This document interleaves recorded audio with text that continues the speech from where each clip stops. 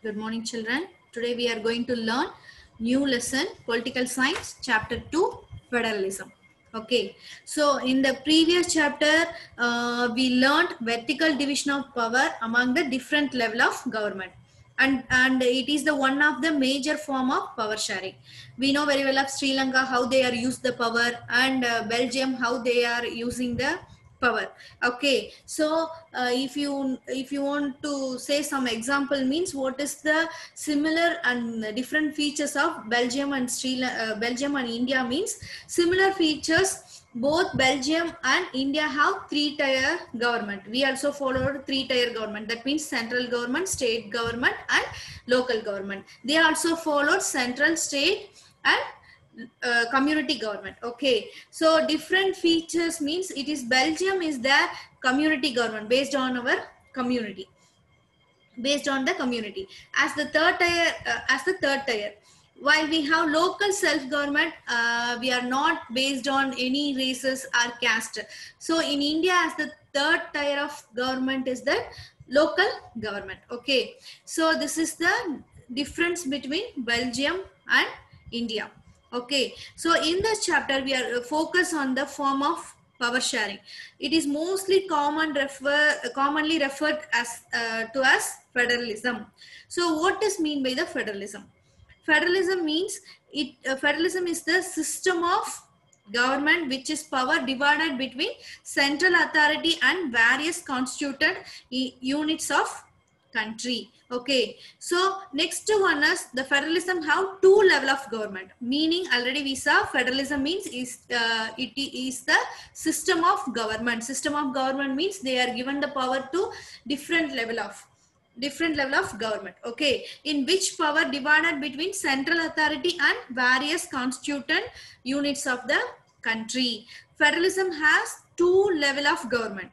One is the entire country that is usually responsible for the new subject of common national interest.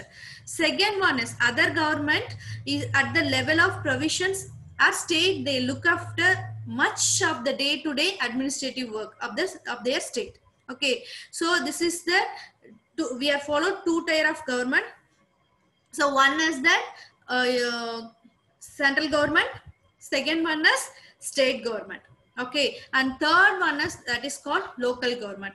To, uh, in this uh, towards end of this chapter we turn to the local government and uh, new and third tier of indian federalism we are going to learn okay? So uh, federalism are contrast of the unitary government. So what is mean by the unitary government? Unitary government we know that either there is only one level of government or subunit which is subordinated to the central government. The central government can pass the pass on order to the provisional at the local level. This is the unitary government. That means only uh, central government have power. They are given power to the subunits. But federal form of the government means there are two or more level of government. Different tier of government in the same citizens. But each has they have own jurisdictions and then specific matter of legislation taxation administrative everything it is look after the regional government. Example india. Unitary form of government example is sri lanka. Okay so difference between unitary system and uh, federal system means what is that unitary system means only central government or one level of government have power and they are given the power to subunits. Uh, here federal government means uh, two or more level of government uh, and different tiers government have same citizens. Same citizens only we are uh, following the rules and regulations but we have different type of government. Okay. So this is that very very important. In Indian constitution they are divided the power of government uh, between union and state which is more or less uh, based on the federal structures okay of the government. Uh, in this uh, division of power more uh, inclined towards of union government seeing the trad traditions of the indian political history. We know the tradition we are follow the rules and regulations and everything is followed by the tradition method and they demand more autonomy. Autonomy means they have enjoy their power. They have own power. Okay. So they have own power. They demand more autonomy is one of the most controversial issues of the indian federalism. Okay. And state should uh, given more power and uh, or more autonomy for the following reasons. What are the reasons means the center is the strong of indian political system so the center has been given the monopoly uh, on almost all the subject except for few and which state have reserved the say, uh, say due to the some local importance okay?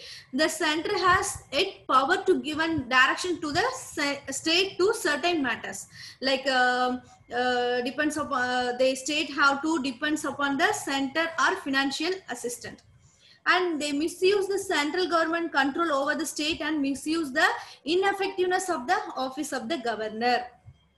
Okay so this is that called as the autonomy or more power of the government.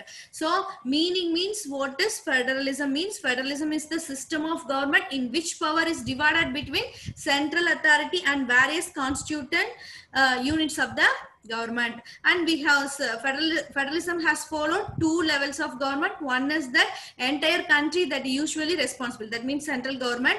And second one is that is the regional government. They are look after their uh, day-to-day administrative works. Okay. So federalism are contrast with the unitary government. Unitary government means only one level of government. Federalism federalism government means uh, it is two or more than two forms of the government okay? So in federal system the central government cannot order the state government to do something okay? But unitary system means either there is only one level of government and subordinated to the central okay? So this is uh, today we have learned this what is federalism? Meaning level of government and difference between unitary and federal system. Okay children? Now we are going to learn the question answer